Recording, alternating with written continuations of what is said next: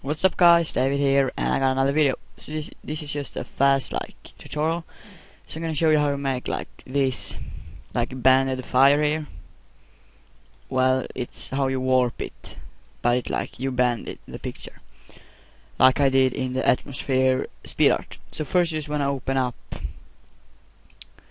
the just the where you wanna bend the thing fire we just want to make a new file.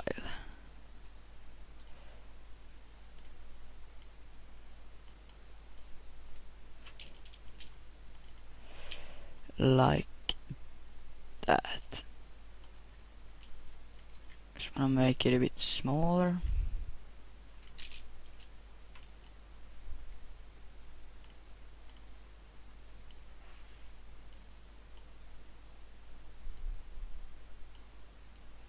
like that.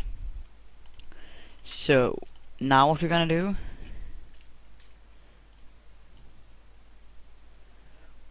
We just wanna make like how we bend the picture. So first you just got the like picture you wanna bend. I'm just gonna use let's see. Um, we use flames as I did in the video. So you just got the flames where you wanna have them. I want them like to be right there. So now you just wanna bend this.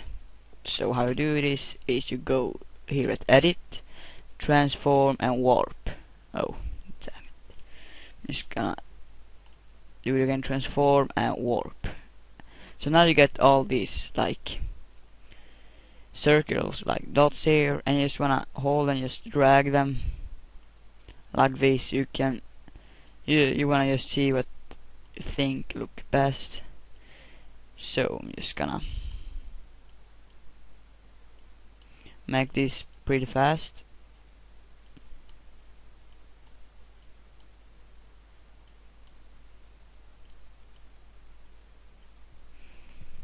just like that and just hit enter and just want to drag it behind behind the picture. And you just got it like that.